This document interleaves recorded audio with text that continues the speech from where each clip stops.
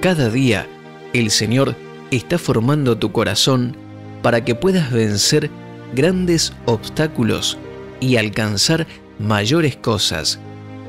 Nunca debes obsesionarte con una bendición que termine afectando tu devoción hacia Él. Del Señor procede todo lo que necesitamos. En Génesis capítulo 22, versículo 1 y 2 dice, Después de esto, sucedió que Dios puso a prueba a Abraham y lo llamó, Abraham, y él respondió, aquí estoy. Y Dios le dijo, toma ahora a Isaac, tu único hijo, al que tanto amas, y vete a la tierra de Moriah. Allí me lo ofrecerás en holocausto sobre uno de los montes que yo te diré.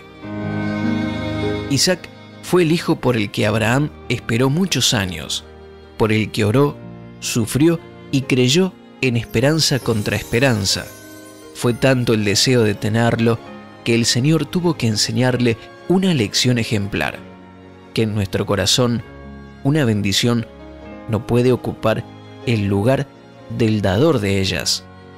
Las bendiciones tienen el riesgo de transformarse para nosotros en un ídolo, en algo que se interpone entre nosotros y Dios, llegando a tomar el lugar más importante de nuestra vida. Muchos viven obsesionados con alguien o con algo que quieren, y eso no los deja vivir en paz. Están preocupados, angustiados y ansiosos, esperando lo único que les importa. Pero el Señor se tomará el trabajo de enseñarnos que no debemos poner una bendición como nuestro todo. Descansa en Él, ya que ninguna bendición puede ser más grande que Dios y nunca debemos desobedecer con tal de conseguir algo. Hagamos esta oración.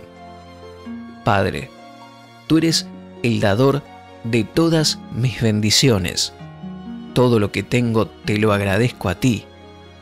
Te doy la gloria por mi familia y por todas las cosas con las que me has bendecido. Descanso en ti, porque eres la fuente de mi gozo y felicidad.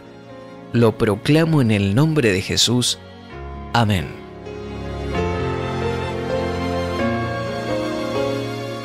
Gracias por compartir este tiempo con nosotros. Te saludamos desde avanzapormás.com. Estamos para bendecirte.